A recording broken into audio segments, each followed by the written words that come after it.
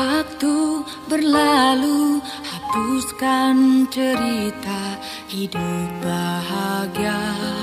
Kita berdua.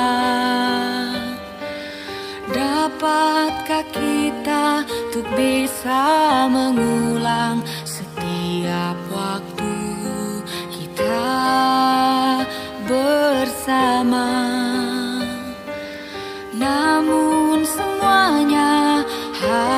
harus berakhir.